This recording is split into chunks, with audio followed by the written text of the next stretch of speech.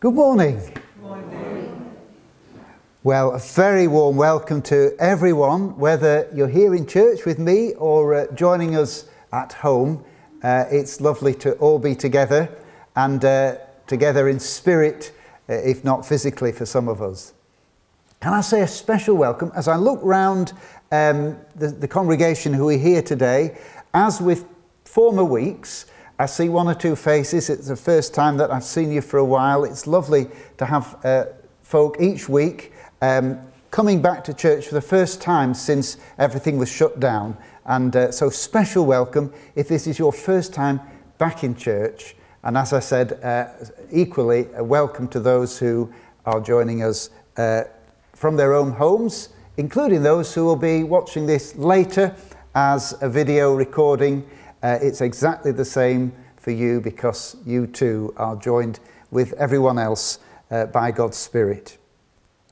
Um, we continue to worship with all sorts of limitations to what we can do. I'm, I'm acutely conscious that um, a lot of our worship might appear on the face of it to be little more than uh, sitting at home or in church listening to and watching me.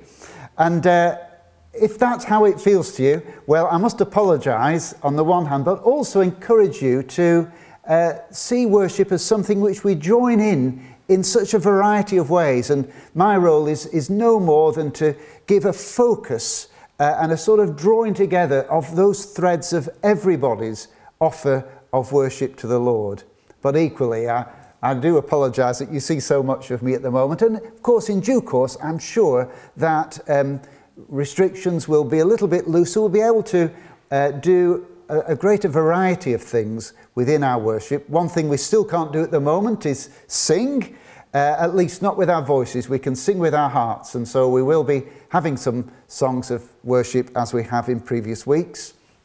And uh, of course, words to say together as well. And in fact, we're going to begin with that now. We're going to greet one another in the Lord's name. Uh, as always, with the um, words on the screen, do join in with any that are printed in gold. Grace, mercy, and peace from God our Father and the Lord Jesus Christ be with you. With you. This is the day that the Lord has made. And let's worship God together with these words. These are a very, this is a very ancient Christian hymn of praise and glory to God. Glory to God in the highest, and peace to his people on earth. Lord God, heavenly King, Almighty God and Father, we worship you, we give you thanks, we praise you for your glory. Lord Jesus Christ, only Son of the Father, Lord God, Lamb of God, you take away the sin of the world. Have mercy on us.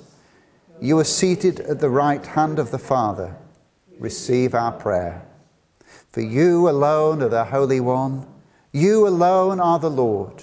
You alone are the Most High, Jesus Christ, with the Holy Spirit, in the glory of God the Father. Amen. We're now going to worship God with uh, a hymn based on some words of prophecy from the Old Testament.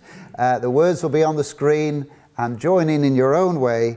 Uh, our, we're accompanied by some of our own local musicians who've recorded at home and then mixed the uh, music together to lead us in how lovely on the mountains are the feet of him who brings good news. Thank you.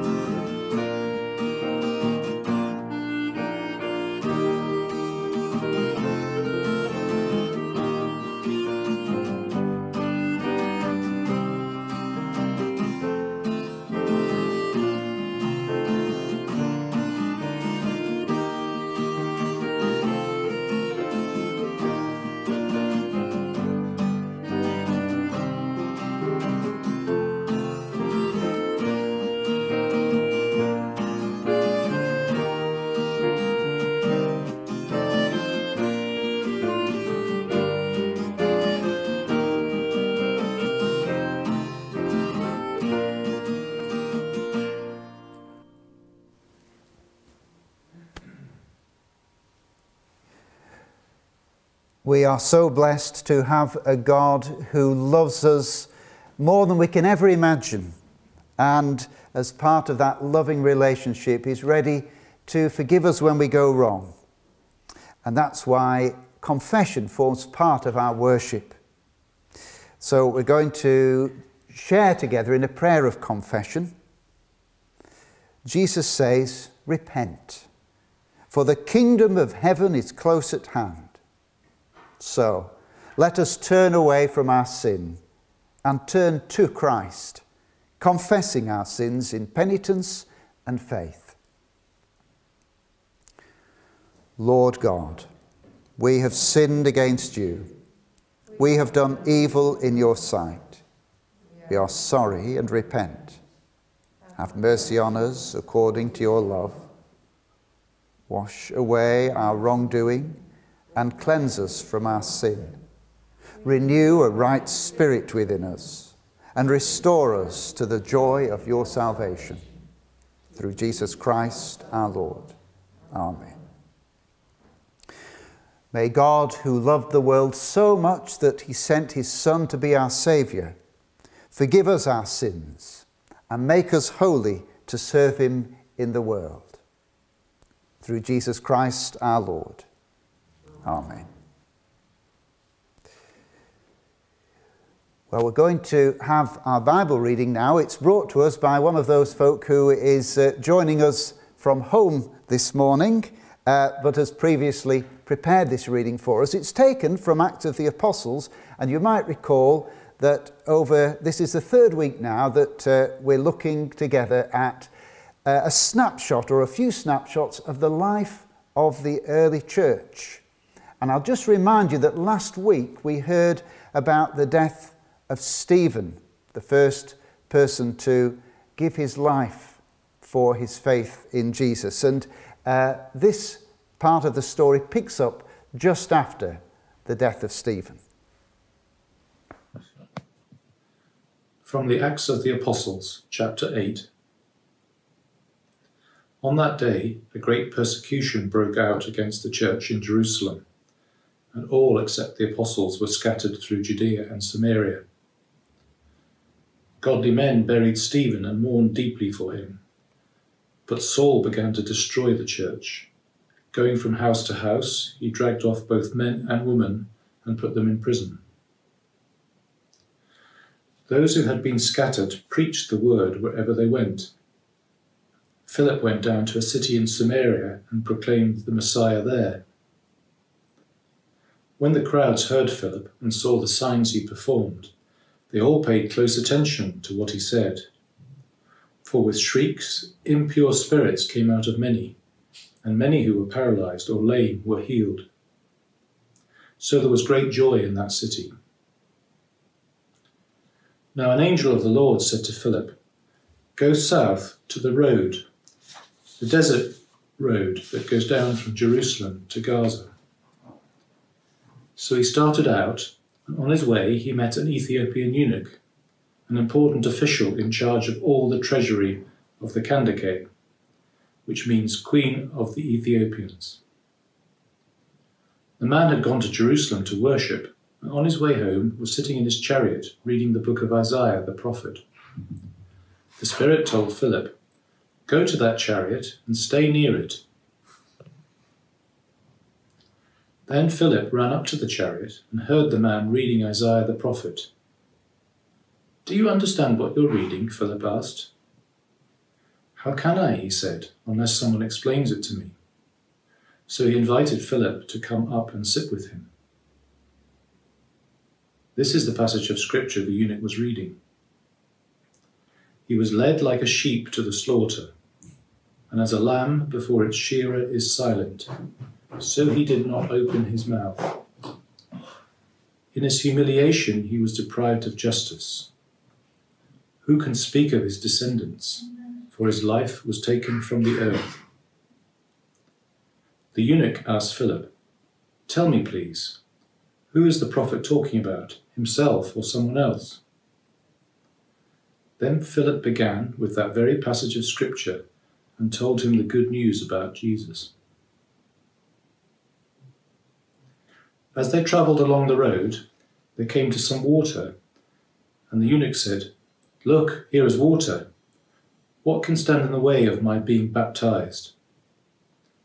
And he gave orders to stop the chariot. Then both Philip and the eunuch went down into the water, and Philip baptized him. When they came up out of the water, the Spirit of the Lord suddenly took Philip away, and the eunuch did not see him again, but went on his way rejoicing. This is the word of the Lord. Thanks be to God.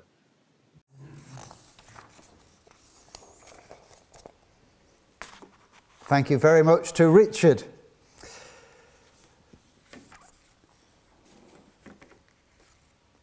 A short prayer before we reflect together on that story. Almighty God, we thank you for the gift of your holy word. Open your word now to our hearts and our hearts to your word. In Jesus' name, Amen. I'm sure I'm not uh, unique if I tell you that from time to time I have moments of despondency. It tends to happen uh, when I look in my diary for the week and I see something that was planned as part of uh, this year's programme in our church, and uh, of course, it's not happening. So, for instance, we had a series of visiting speakers booked for our Sunday services, one of them uh, for this month of August. And they were going to come and tell us about the work that they're doing from Tearfund, from the Gideons, from Church Pastoral Aid Society, and from Open Doors. They were all planned and booked. And uh, they, as we hear from people like that, they can really increase our vision and our enthusiasm for what God is doing, the, way, the ways in which God is at work in the world, and how we can be part of that and share in it and support it. But we've not heard from any of them. And uh, of course, there are other things which are just part and parcel of the life of our church, those events through which we come together to deepen and strengthen our faith, our regular home groups, Bible studies, our regular prayer meeting needless to say, our Sunday services too, and the various sermon series that, uh, that we had planned as part of this year's programme. Not to mention uh, the activities of our junior church and our youth church. They're still in my diary, but they've not been happening. Or our midweek events, our outreach through our church guild, uh, or to, to, to the older folk of our community, or uh, praise and play to the youngest of our community, our weddings, our baptisms, uh, the work we've been doing to improve and enhance our building, not to mention, of course, uh, the plans we had this year under the title Upward and Onward uh, for building in that more fundamental sense, the spiritual building of our church. And just recently, the, uh, the, the fourth date passed for these four vision meetings that, uh, that we had planned. We booked the uh, village hall for. We were going to uh, gather together and listen to each other and to God to try to discern the ways in which uh, God wants to build with us going into the future. Not to mention all of the day to day, unplanned opportunities that the life and mission and ministry of our church throws up. The comings together of people, uh, the opportunities I have as a vicar to meet so many people, the opportunity to welcome folk into our fellowship here Sunday by Sunday. So much can feel that uh, we have lost so much uh, in recent months. And that feeling, of course, is shared by others in in their own places, their, uh, in their place of work or their business uh, or at school or at home or in families. Well aware that it's a universal uh, feeling at the moment. Well, if I am tempted to despondency, and if you are too, as you think of uh, our church and what we might have missed out on, then take heart from the reading that we heard just now. The story uh, well, primarily the story of Philip, but more widely, the story of what happened when everything seemed to go wrong for the church. It wasn't so different in a way, in that things were going really well. We heard a couple of weeks ago that week by week and day by day, new members were being added to the church. People were hearing the gospel, were believing. The church was growing. We heard last week, didn't we, that they had to adapt and uh, they had to appoint those seven deacons to uh, deal with the administration uh, and, and the organizing of this growing body of people. And then we also heard last week that the opposition came, that Stephen uh, was killed by, stoned to death by a mob, and then that was the, the beginning of a great persecution. And it seemed like, it must have seemed like everything that, uh, that they'd managed to build up that was going so well had suddenly been swept away as this great wave of persecution broke out. We're told that Saul was at the helm of the persecution and he was going from house to house, dragging people out of the house and putting them in jail. And that meant that a lot of the believers scattered away from Jerusalem and uh, fled to the surrounding towns and villages. But that was not going to stop God. It might have seemed like a disaster to the people at the time, to the church members, but God had other ideas.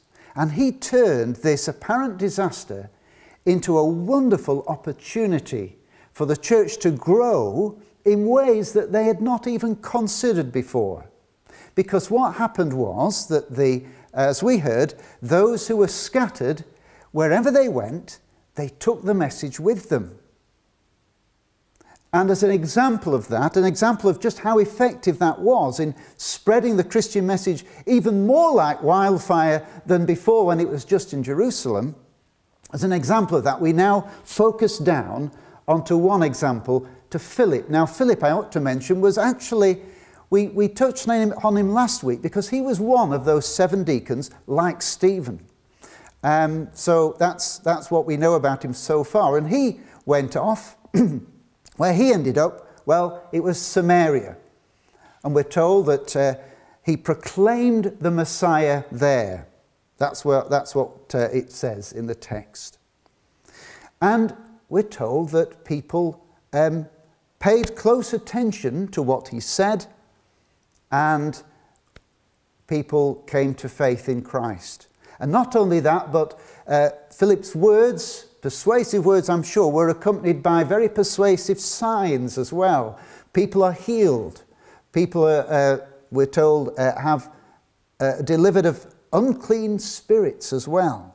So there are amazing things happening. People's lives are being touched in all kinds of ways. The Spirit of God is at work through Philip and, and in Samaria.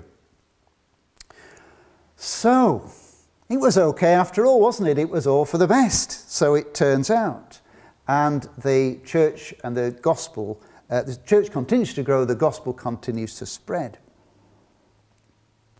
And then what does God do?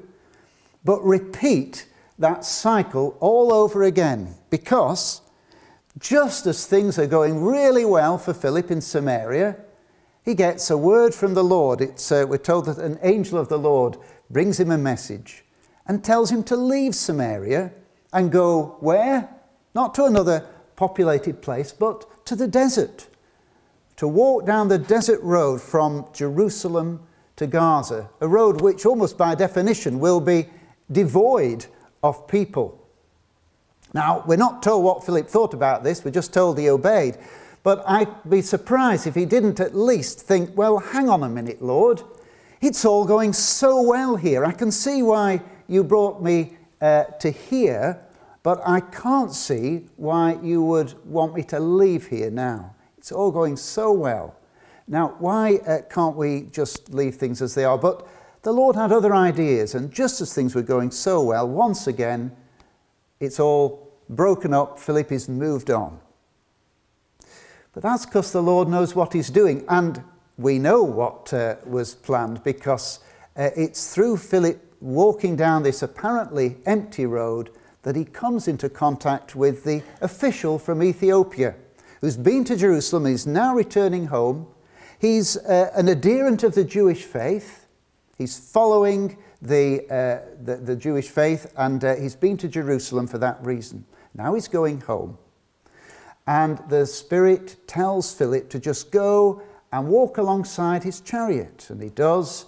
And well, you know, the rest is history. A conversation is struck up, and Philip has the opportunity to share the good news of Jesus with him, which the man gladly receives. Clearly, his heart was prepared to receive that good news. And uh, he, he's, uh, he comes to faith, and as a sign of that, he asks Philip to baptize him. They pass a, a little pool, he's baptized. And then, guess what? Once again, Philip isn't allowed to just sit back and now enjoy the, the, the, the glow of this uh, wonderful success. He's once again taken off by God to yet another place.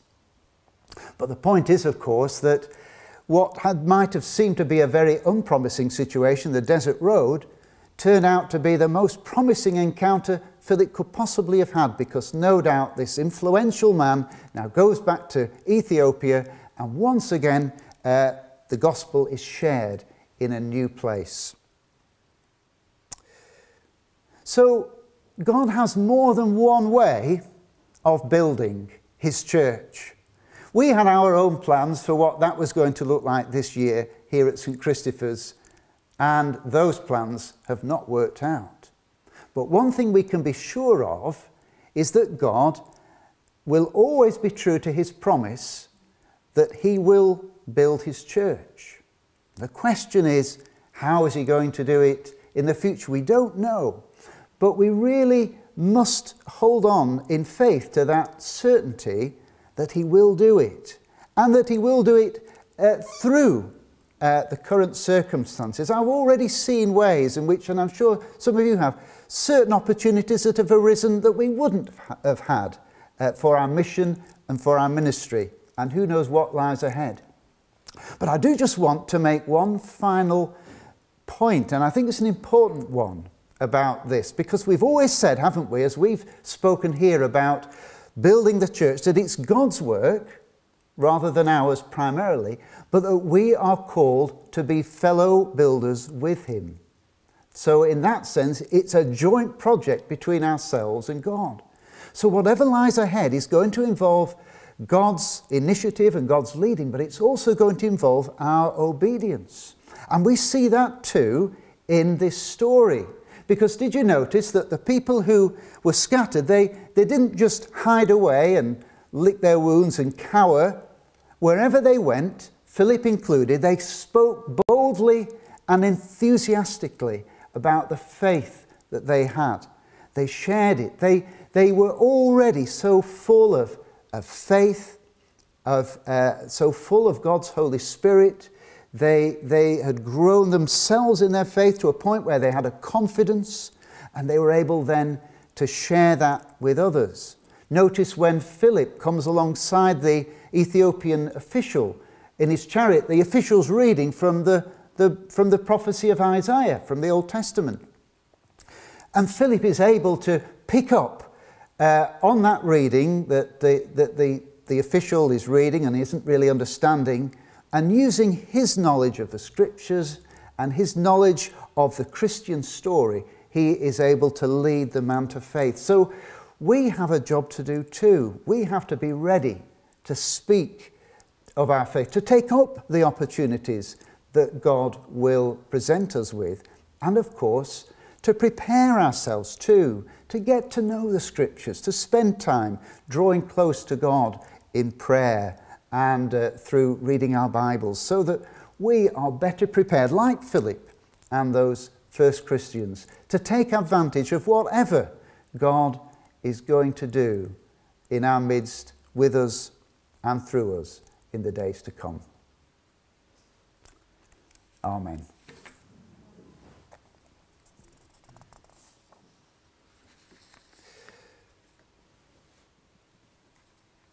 We're going to have a hymn. Uh, this one is going to be uh, uh, accompanied by uh, some Church of England musicians, And uh, it's a wonderful hymn about following Jesus. Will you come and follow me if I but call your name?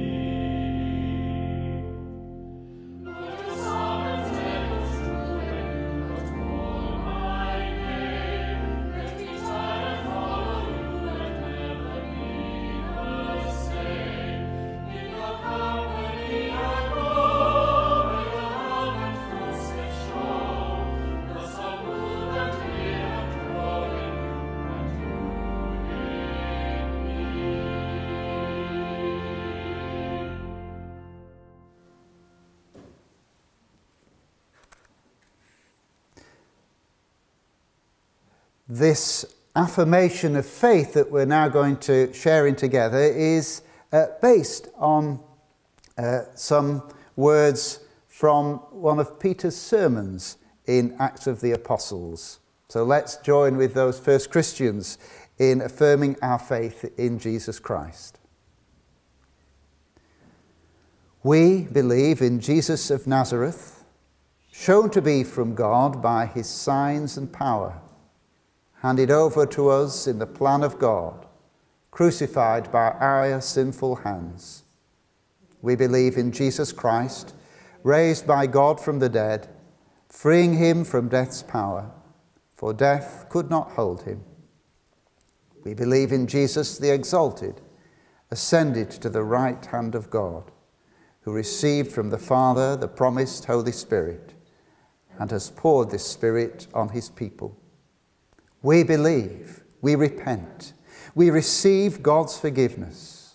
We believe, we rejoice, we receive God's Holy Spirit. Amen. And now we're going to have our prayers uh, led by Kath and Duncan Matheson.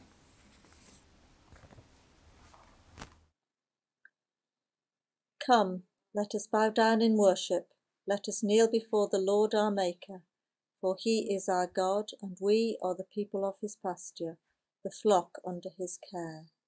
Heavenly Father, as we come before you in prayer, make us aware of you coming to meet us. Make us sensitive to your presence and alert to your call. Almighty God, thank you that the early church was made up of ordinary people like us, and yet it changed the world scattered by persecution and blessed by the outpouring of the Holy Spirit, the believers preach the good news of our redemption through the death and resurrection of Jesus to both crowds in cities and individuals like the Ethiopian. Help us to be sensitive to the leading of the Holy Spirit and diligent in our prayerful requests that the Spirit would make the hearts of those we speak to receptive to your word. We thank you for David, John, and Lynn, who bring us your word at St. Christopher's, and for all those whose untiring work helps keep our community learning more of you and supportive of each other. We pray too for our missionary partners, the Fasakalis in Malawi and the Macleans in Thailand that their efforts to make the gospel known would be blessed with success. Amen. Lord, thank you for the brilliant sunshine we've enjoyed recently, and for the rain which has refreshed the land. We pray for your beautiful world, home to all your precious peoples. Help us to live responsibly and to protect your precious gift of creation. We pray for those who are already experiencing the serious effects of climate change, such as droughts, floods, and storms. May the innovative farming techniques which will enable crops to grow and families to be fed be made widely available where they're needed. May organisations such as Christian Aid and Tearfund be effective in their work, helping lift people out of poverty. Amen. God our Father, in the dying and rising of your Son Jesus Christ, you have brought life and salvation out of cruelty and death. We mark the 75th anniversary of victory in Japan by remembering with gratitude the courage of the armed forces and civilians who suffered for freedom in the Far East campaign. Give us wisdom to learn from the bitter memories of war and hearts that long for the unity of all nations. Heavenly Father, may your peace come to those places where conflict still rages. We ask this in the name of Jesus, in whom there is no east or west, no north or south, but one fellowship of love across the whole earth. Amen. Heavenly Father, you've promised to cover those who trust you, trust in you with your feathers and to provide refuge under your wings. We pray for all who, like those in the early church, are persecuted for loving you. We are confident that ultimately you will relieve their suffering, but meantime enable them to be steadfast in their faith and bless the efforts of organisations like Open Doors and Barnabas Fund, who provide practical and emotional support to our victimized brothers and sisters. Amen. Father God, righteousness and justice are the foundation of your throne. We bring before you those places where injustice is the norm, where leaders cling to power against the wishes of the people, and where opposition is cruelly suppressed. Please grant all those who govern wisdom, discernment, and a desire to do your will. We pray particularly for Lebanon and Belarus. Thank you for everyone who uses their talents and time to improve the lives of those who are disenfranchised and downtrodden. Lord, thank you that the rule of law is upheld in the UK. But please help us to strive to make our society one of equal opportunity for all. Amen. Lord, when I said my foot was slipping, your love, O Lord, supported me. When anxiety was great within me, your consolation brought joy to my soul. Heavenly Father, we bring before you all those who are worried about their future, whether they have concerns about a relationship, or their financial situation, or exam results, or their or their family's health. We pray too for the ill in mind or body, for those recently injured, and for the bereaved, including the Snelson family. Please grant them all peace of mind, secure in the knowledge that wherever life leads us, Christ always goes before to prepare a place for us. He is on the road we tread. Christ is our light in the dark the presence in our loneliness, the strength in our weakness, the guide in our lostness, always ready to carry not only our burdens, but also us if need be. Merciful Father, accept these prayers for the sake of your Son, our Saviour, Jesus Christ, our Lord. Amen. Continue in prayer as we say together, Our Father in heaven, hallowed be your name. Your kingdom come, your will be done on earth as in heaven. Give us today our daily bread. Forgive us our sins as we forgive those who sin against us. Lead us not into temptation, but deliver us from evil. For the kingdom, the power, and the glory are yours, now and forever. Amen. And today is not the feast of St. Philip, but we will have the collect for St. Philip as our final prayer. O God, who has made of one blood all the peoples of the earth, and sent your Son to preach peace to those who are far off and to those who are near, grant that we, following the example of your servant Philip, may bring your word to those who seek you, through Jesus Christ our Lord. Amen.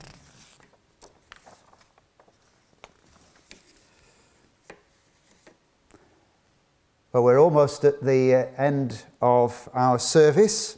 Uh, there's not much to tell you in the ways of notices. It's quiet in August anyway, and particularly quiet this August. Uh, but I would remind you that, um, especially if you're joining us uh, via the live stream, um, there's an opportunity to uh, have a chat together over Zoom starting at quarter to 12, hosted by Sandy Milsom. And um, it's a bit chilly here for us who uh, last week enjoyed mingling in the uh, churchyard with a, some of us with a cup of coffee in our hands. But um, uh, if, you, if you're robust and you uh, are well wrapped up, do stay and have a chat outside afterwards if you can. Um, on Tuesday, as always, at 7, we set time aside as a church to pray for our world, but also to pray for God to build and continue to use uh, us here as a church at Potts So do uh, join us if you can. Do join in prayer at 7 o'clock on Tuesday.